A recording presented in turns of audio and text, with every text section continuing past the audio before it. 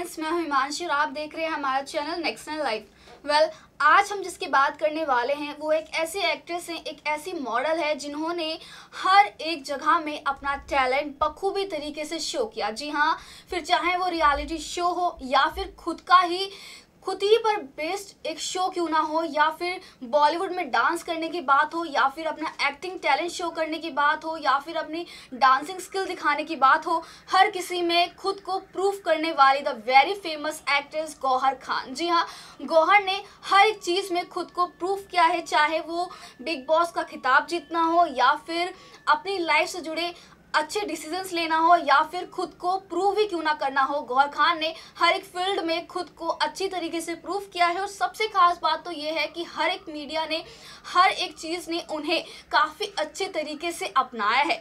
जी हाँ आज हम गौर खान की कुछ ऐसी ही बातें, कुछ ऐसी अनसुनी राज, कुछ ऐसी उनकी खास बातें, उनकी लाइफ से जुड़ी कुछ ऐसी राज आज हम आपको बताने वाले हैं और बहुत ही खास तरीके से हम आपको बताएँगे कि किस तरीके से गौर खान ने अपनी ये मुकाम हासिल किया, साथ ही साथ आज गौहर खान को हर कोई जानता है। तो चलिए, आपको बताते हैं गौहर खान की वो कुछ ऐसी खास बातें, कैसे उन्होंने इतना अच्छा मुकाम हासिल किया और आज भी गौहर खुद को प्रूफ करते हुए हर जगह दिखाई देती हैं। तो चलिए, आपको भी सुनाते हैं।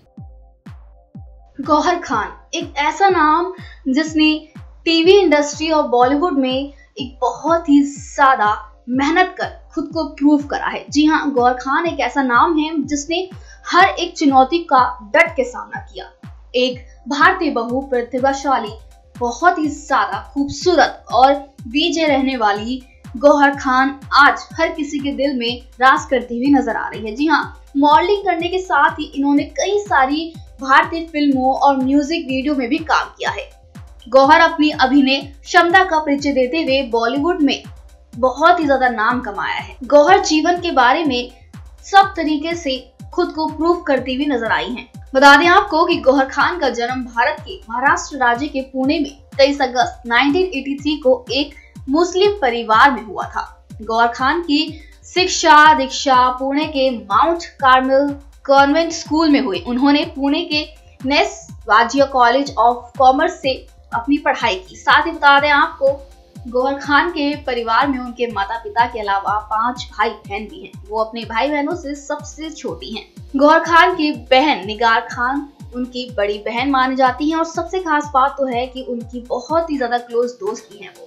इसके अलावा एक और बड़ी बहन जिनका नाम कसोर खान है, वो दुबई में स्पा की मालिक है। उनकी जो माता है, वो भी बहुत ही ज़्यादा खूबसूरत और साथ ही साथ वो बहुत ही ज़्यादा प्यार भी करती हैं अपने सारे ही बच्चों से। तो वहीं, अगर हम गौहर की पर्सनल लाइफ के बारे में बात करें तो जैसा आप सभी जानते हैं कि गौहर ने 2003 में निर्देशक शाहिद खान के साथ रिश्ते में नहीं लेकिन ये रिश्ता ज़्यादा समय तक नहीं चल पाया। जी हाँ बाद में उनका नाम एक्टर कुशाल टंडन के साथ भी जुड़ा। जैसा आप सभी जानते हैं कि बिग बॉस सीज़न सेवन में उनकी मुलाकात हुई कुशाल टंडन से, लेकिन तब तो इनका प्यार बहुत देखने को मिला और बाहर भी इनका प्यार काफ़ी समय तक देखने को मिला, लेकिन एक समय ऐसा आया जब इनका रिश्ता टूट गया। जी हाँ नहीं चल पाया इनका रिश्ता, लेकिन आपको बता दें गौहर ने काफ़ी मेच्योरली इस रिलेशनशिप की एंडिंग को हैंडल करा, साथ ही साथ सभी जानते हैं कि गौहर खान कितनी ज़्यादा मच्योर और वो किस तरीके से हर सिचुएशन को हैंडल करना उनको बहुत ही अच्छी तरीके से आता है। तो बता दें आपको,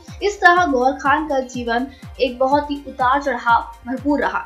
गौहर खान हमेशा ही अलग अलग चीज़ों से जुड़ी रही, साथ ही साथ उन्होंने गलत चीज़ का हमेशा सामना किया। गौर खान मनीष मल्होत्रा पायल जैन और नीता लूला जैसे मशहूर डिज़ाइनर के लिए मॉडलिंग भी कर चुकी हैं।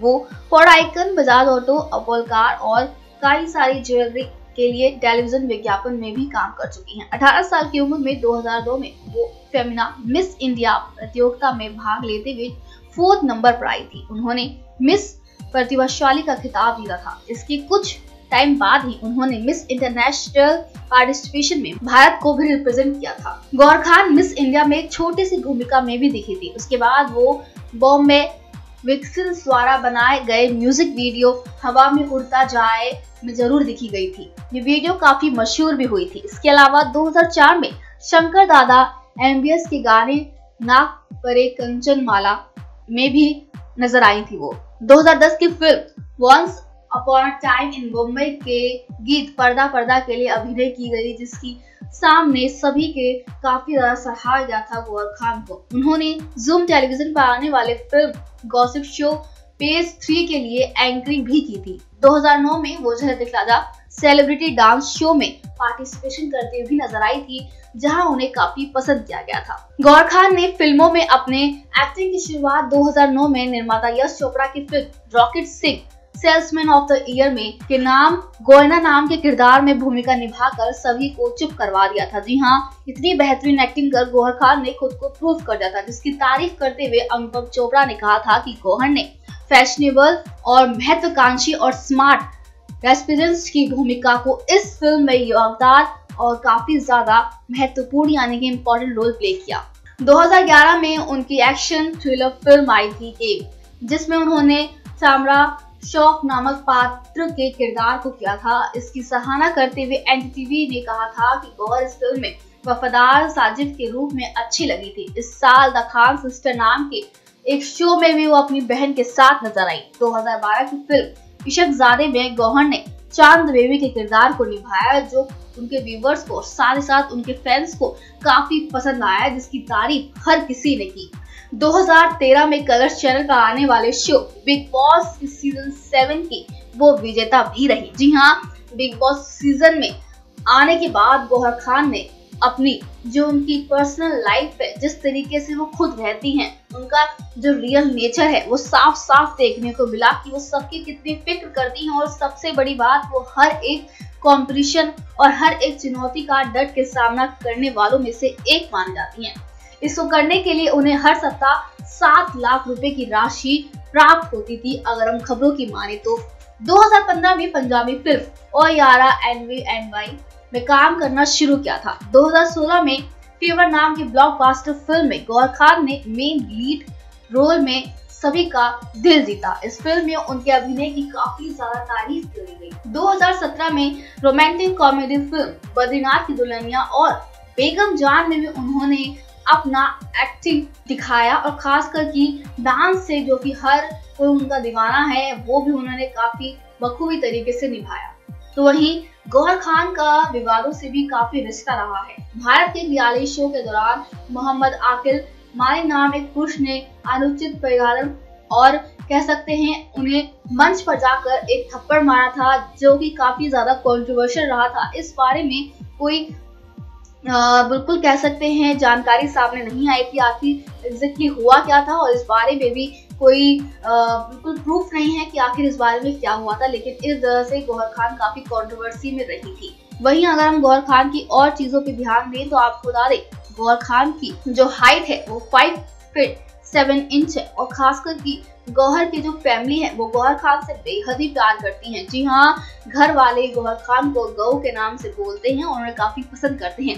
अगर हम उनके फेवरेट फ़ूड की बात करें तो उन्हें चिकन बिरयानी चॉकलेट काफ़ी ज़्यादा पसंद है। साथ ही साथ अगर हम उनकी राशि जैसे उनकी है, वो कन्या है, और साथ ही साथ अगर हम उनकी फेवरेट एक्टर की बात करें तो शाहरुख खान, सलमान खान, ऋतिक रोशन ऐसे नाम शामिल होते हैं खबरों की माने तो। और फेवरेट एक्ट्रेस की अगर हम बात करें तो कहीं ना कहीं खबरों में आए हैं कि उन्हें सुष्मिता सेन काफ़ी पसंद है।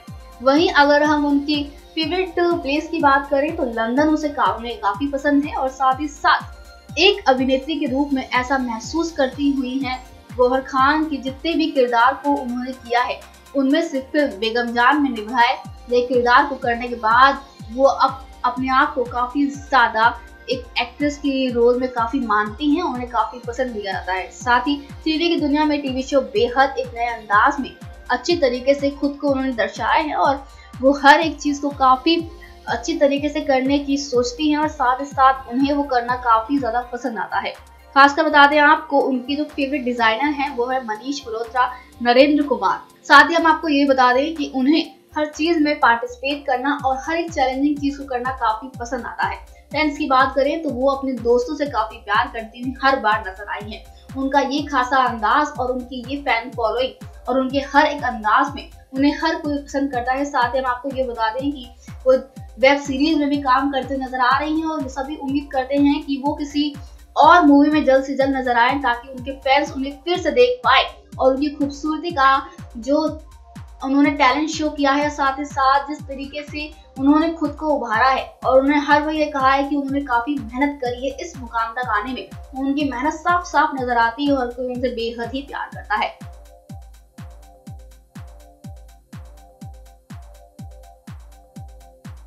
तो देखा आपने किस तरीके से गौहर खान ने अपनी लाइफ को इतनी अच्छे से जताया है। साथ ही साथ हर एक फ़ील्ड में गौहर ने खुद को प्रूव किया है।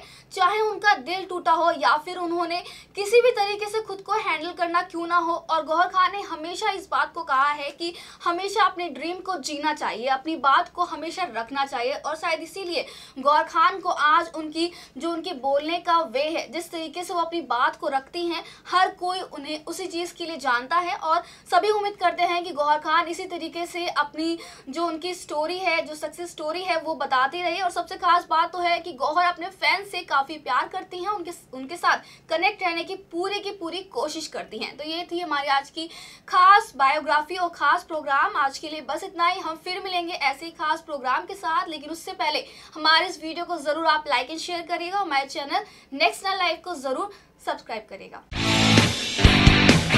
Bye.